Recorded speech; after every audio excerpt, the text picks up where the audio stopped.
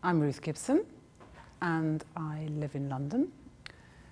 Bruno Martelli, who I collaborate with, he went on a sailing expedition to the Arctic, but I didn't go. And ordinarily, we normally go to the wilderness together and explore and then make work from the experience of that.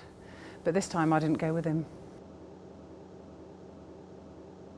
We decided to create a piece where um, I would imagine the journey that he took.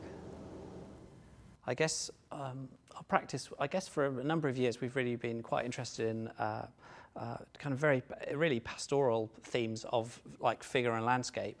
And so uh, quite a lot of our other pieces we've uh, had performance involved in it and we've motion captured performers.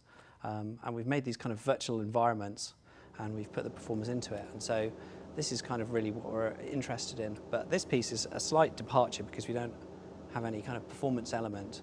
And really, we've recently started to think about some ways of the person that's actually uh, the viewer is kind of somehow the performer. So the they have to kind of activate the environment by interacting with it. These kind of um, I guess uh, just just experiences that possibly people wouldn't get oftentimes. So this is why we're working with virtual environments. I think we're just trying to we're trying to put people in a position where they kind of they make they make the discovery. We kind of try to really dial down the kind of narrative elements of the whole thing, so that they just we're trying to. I mean, we, we are uh, literally trying to get them to sort of go on a journey, and. Uh, and let them have a sort of cold reading and see what it means for them.